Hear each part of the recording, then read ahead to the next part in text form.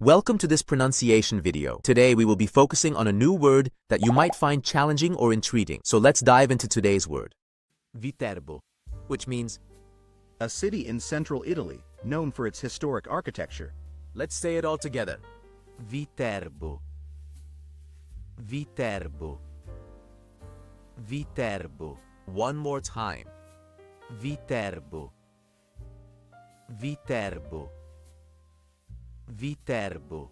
Thank you for joining us on this adventure in pronunciation. Remember, language is a journey, not a destination. Keep exploring, experimenting, and expanding your linguistic horizons. We'll see you next time.